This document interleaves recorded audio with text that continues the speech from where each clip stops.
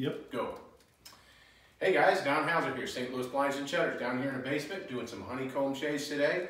Wanted to kind of show you guys the difference between a vertical honeycomb and a horizontal honeycomb shade.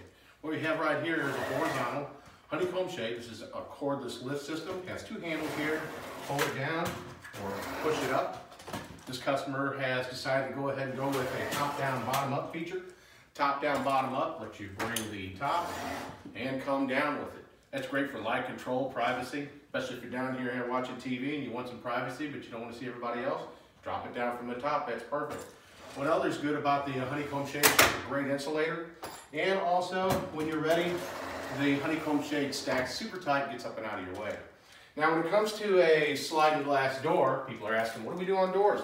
Well, I'll tell you what, the uh, Slide Vue honeycomb, which is a vertical op operating honeycomb shade, works perfect for the slide glass door. Has a little button on each side, one here and one here, so it'll traverse either way. Uh, so all you do is grab the button, move the shade to the position that you like, let go of the button. Works great, great insulator, gives full privacy here. Um, and again, it'll operate from either direction. You can either put it in the middle if you like to. So it's a very versatile shade. Also, when you're ready to get rid of it, you need full access to your door. It stacks at about nine inches.